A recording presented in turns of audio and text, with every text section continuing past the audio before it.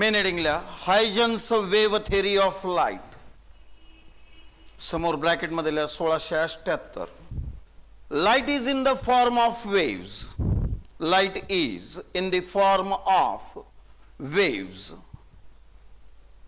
पुढचा point when when these waves emitted from the source they travel they travel with a uniform velocity in the given medium त्याच्यानंतर पुढचा when these waves enter our eye enter our eye and vibrate the retina, we get the sensation of light. पुढचा point.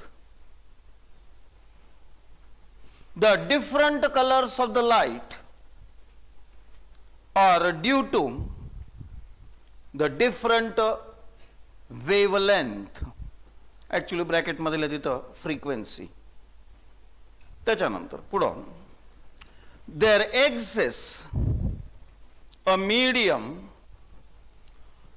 known as known as luminiferous lumino l u m i n o lumino. Ferrous f e r r o u s ferrous ether medium which exists everywhere.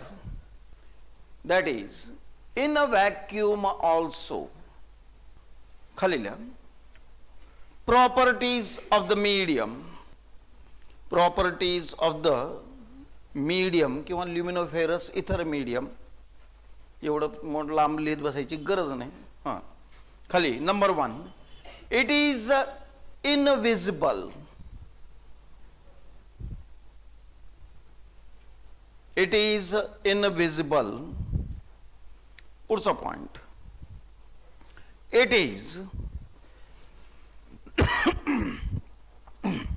highly elastic. आणि तिसरा point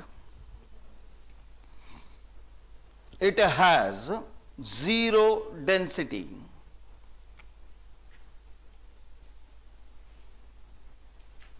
ज्याला डेन्सिटीज नाही तो elastic कसा होऊ शकेल? Original size regain करण्यासाठी इलॅस्टिक व्हावं लागतं. काल आपण इलॅस्टिक कुठलं पाहिलं होतं? नॉन रिजिड बॉडीमध्ये पाहिलं होतं. काहीतरी डेन्सिटी असावीच लागेल तिथं. पण सरळ म्हणतो तो झिरो डेन्सिटी अरे कुठं आहे? तुम्हाला दिसणार नाही. संपला विषय. हां. खाली advantages advantages due to wave nature due to wave nature this theory this theory could explain could explain wave म्हटल्यानंतर काय काय एक्सप्लेन करू शकतो त्याची यादी करूत आपण खाली number one reflection Number one, reflection. Number two, refraction. Number three, simultaneous, simultaneous reflection and refraction. Reflection and refraction. पुढं इंटरफिअरन्स इंटरफिअरन्स त्याच्यानंतर डिफ्रॅक्शन डिफ्रॅक्शन आणि त्याच्या पुढं polarisation polarisation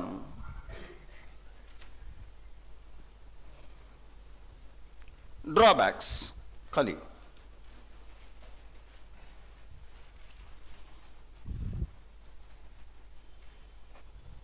Hmm. Number one, there exists, there exists no such medium, asla medium nastuts kutha, no such medium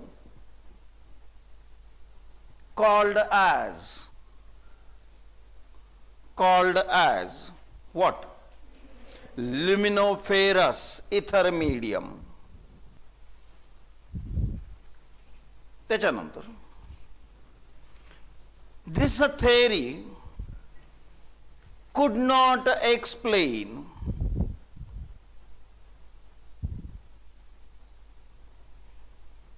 could not explain काय? Photo electric effect Compton effect ह्या दोन theory झाल्यामुळं त्यातल्या त्यात हायजनची वेव थेरी ही क्वाईट ऍक्सेप्टेबल आहे. किंवा वाटतं की ही थेरी काहीतरी बरोबर सांगण्याचा प्रयत्न करते. वेव नेचर सांगते लाईटचं आता वेव नेचर जर सांगत असेल तर त्या ठिकाणी ह्या थेरीला आपल्याला पुढं कंटिन्यू करायचं आहे म्हणून या टॉपिकला आपण टोटल चार पार्टमध्ये दोन टॉपिक आहेत हे दोन टॉपिक टोटल चार पार्टमध्ये डिवाइड होतात. पहिला आहे वेव थेरी ऑफ लाइट कि ज्या ठिकाणी आपण काय शिकतो? वेवचं लाईटचं वेव नेचर दुसरा पार्ट आहे त्याच्यानंतर इंटरफिअरन्स ऑफ लाइट लाईटचं इंटरफिअरन्सची प्रक्रिया काय असते ते शिकायचं तिसरं लाईटचं तुम्हाला त्या ठिकाणी डिफ्रॅक्शन शिकायचं आहे लाईटचं त्या ठिकाणी तुम्हाला परत पोलरायझेशन शिकायचं आहे आणि लाईटचा अजून एक इफेक्ट आपल्याला शिकायचा आहे डॉपलर इफेक्ट आता हे काय डॉपलर इफेक्ट त्याच्याबद्दल एक दोन मिनिट आपण डिस्कस करू.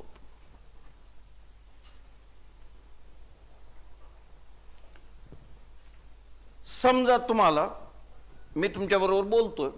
साऊंड वेव्ह मी जनरेट करतोय. फिजिक्स तुम्हाला शिकवतोय. ह्या ज्या फिजिक्स शिकवण्याच्या माझ्या तोंडातून ज्या वेव बाहेर पडतायत ह्या वेव काहीतरी पर्टिक्युलर फ्रिक्वेन्सी असेल त्याची. ती फ्रिक्वेन्सी तयार करून मी ती वेव तयार करतो आणि मी तुमच्याकडे ढकलतोय. ती वेव तुमच्या कानामध्ये शिरते आणि कानामध्ये शिरल्यानंतर त्या ठिकाणी तुम्हाला गपचूप फिजिक्स ऐकावंच लागतं. तुमचे माग दोन्ही हात जर मी मागं बांधून टाकले हात जर नाही बांधले असेल तुम्ही असं करून बसले असेल तर मे बी पॉसिबल मग तुम्ही माझं फिजिक्स घेतलं नसतं.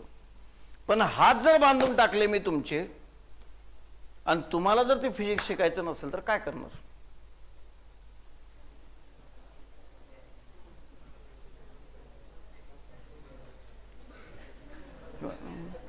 रूममध्ये एवढं टेम्परेचर ठेवलं की झोपच येऊ नये.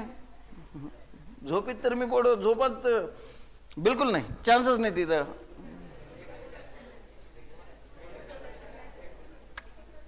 चिकटपट्टी इथं. चेन लावून टाकून दिली इथं. हा. मीडियम गायब करण्याची तुमची अवकात नाही. मीडियम गायब करण्याची तुमची अवकात नाही. ते तर देवानं दिलेलं आहे. जेवानं जे दिलेलं आहे त्याला गायब नाही करता येत हा. ते मीडियम तर राहणारच आहे. आता बोला. कस करणार? कानात जाणारच आहे. संपला विषय. कानात गेला गेला. संपला विषय. एंट्री झाली संपला. तुम्ही त्याच्याकडे मी चायनीज भाषेत शिकवलं काय? आणि जॅपनीज भाषेत शिकवलं काय? तुमच्या कानात तर ते जाणारच आहे. तुमच्या कानातच जाऊ द्यायचं नाही तुम्हाला. काय करणार? No you start running away from me कसं? With the velocity of sound साऊंडची velocity तीनशे वीस मीटर पर सेकंद आहे.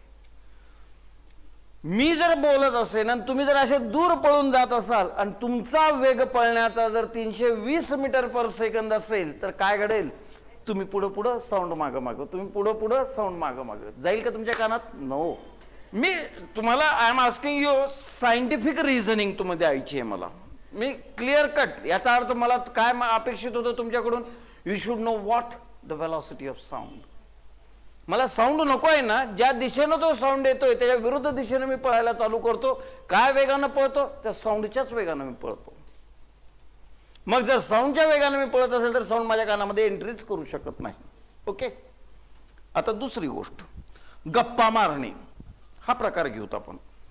दोघी जण बाजूला बसलेत गप्पा मारू शकतात का नाही? Yes okay? दोघ जण सायकलवर चाललेत. गप्पा मारतात? येस दोघं जण असे मोटरसायकलवर चाललेले चाळीसच्या स्पीडनं चाललेत. दोघं गप्पा मारतात येस आता पुढचा प्रश्न घ्या. एक जण चाळीसच्या स्पीडनं चाललाय एक जण ऐंशीच्या स्पीडनं चाललाय दोघ जण गप्पा मारतात. यस नो नो राईट एक जण चाळीसच्या स्पीडनं असा चाललाय दुसरा चाळीसच्या स्पीडनं असा येऊ लागलाय गप्पा मारतील? आता आलं का लक्षात? का बर? त्यांच्यामध्ये रिलेटिव्ह वेलॉसिटी आहे.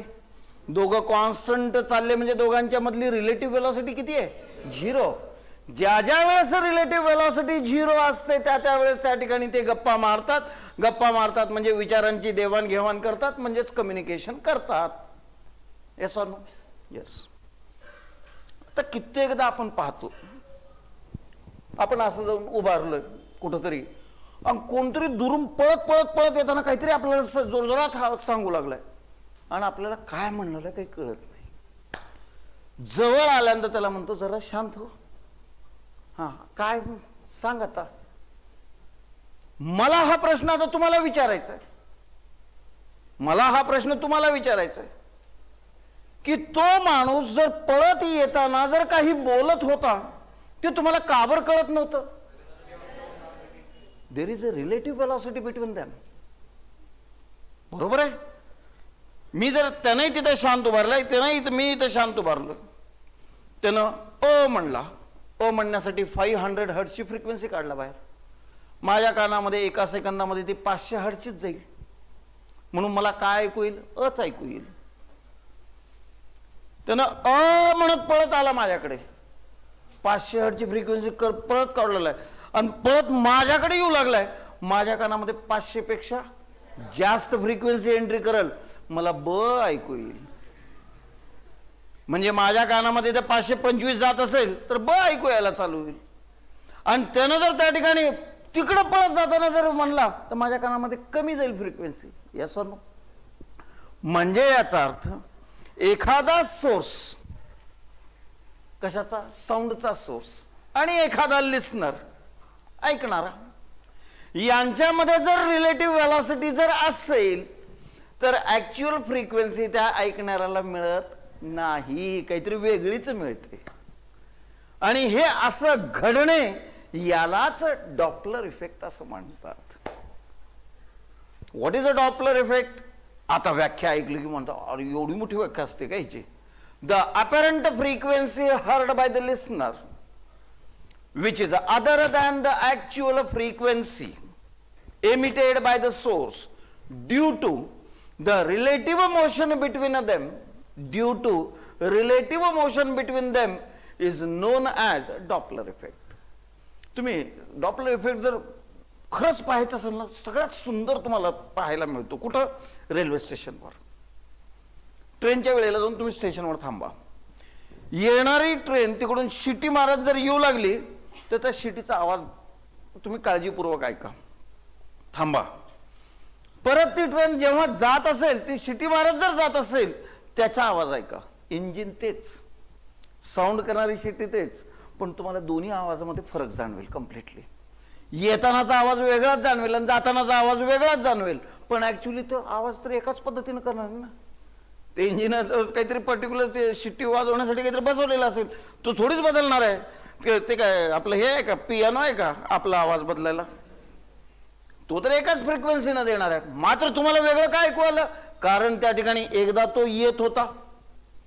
म्हणून त्याच्या फ्रिक्वेन्सीपेक्षा तुमच्या कानामध्ये जास्त फ्रिक्वेन्सी जात होत्या. पुढच्या वेळेस तो जातोय. जात असताना त्याच्या फ्रिक्वेन्सी ह्याच्यापेक्षा कशा आहेत? कमी आहेत. म्हणून त्या ठिकाणी हे सगळं घडतं. म्हणून त्या ठिकाणी हे सगळं घडतं.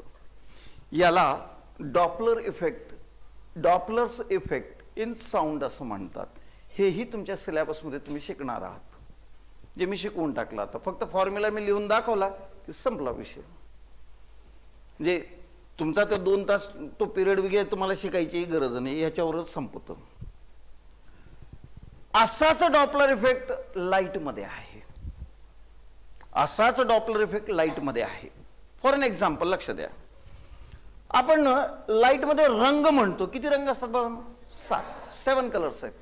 We call it a VIBGYOR एका बाजूला व्हायोलेट आहे. एका बाजूला रेड आहे. ओके आणि तुमचा मिडलमध्ये कुठेतरी येलो येतो. मिडलमध्ये कुठंतरी येलो येतो. जे तुम्ही त्या ठिकाणी काय करता? मीन डेव्हिएशन वगैरे मध्ये वापरतात प्रिझमच्या ह्याच्यामध्ये घुसवता त्याला. ओके आता मी तुम्हाला ते सांगतो. ही जर येलो कलरची लाइट जर आपण पाठवली प्लॅनेट्सवर त्याला धडकून येत असताना त्याच्या वेवलेंथमध्ये किंवा त्याच्या फ्रिक्वेन्सीमध्ये चेंज व्हायला चालू होतो. आणि चेंज झाल्यामुळं चेंज झाल्यामुळं ती येलो लाइट येलो न राहता either it goes to violet or it goes to red red कड सरकत असेल तर त्याला रेड शिफ्ट असं म्हणतात. आणि वायलेटकडे सरकत असेल तर त्याला वायलेट शिफ्ट असं म्हणतात. त्याच्यावरून ठरवलं जातं तो प्लॅनेट आपल्या दिशेने येऊ लागलाय का विरुद्ध दिशेनं चाललाय? का बर? फ्रिक्वेन्सी जर वाढत गेली तर? येऊ लागलाय तो आपल्याकडे प्लॅनेट आणि फ्रिक्वेन्सी जर कमी व्हायला चालू झाली तर? तर तो प्लॅनेट त्या ठिकाणी फ्रिक्वेन्सी कमी झाली म्हणजे तो कुठचा चाललाय? दूर चाललेला आहे. म्हणून प्लॅनेटच्या मोशन आता तुम्ही हे ऐकले का? धूमकेतू वगैरे?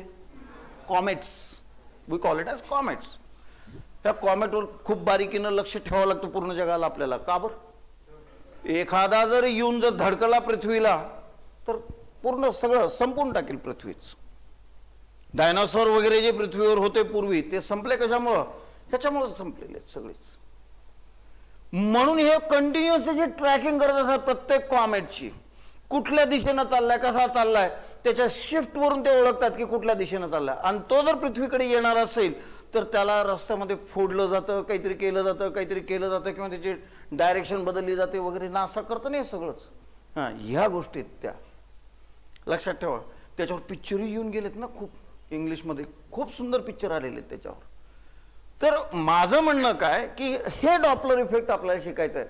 अरे तुम्ही शिकत असताना शब्दात आणि वाक्यात ना अडकत जाऊ. त्याची मजा घेत जा. काय शिकायचं आहे त्याची? तर ह्या गोष्टी तुम्हाला त्या ठिकाणी सगळ्यात इम्पॉर्टंट शिकायच्या आहेत. आणि त्याच्यामध्ये सगळ्यात पहिला पार्ट आपण मान्य करणार आहोत कुठला? Light is in the form of waves wave nature लाईटचं आपण मान्य करतोय आज.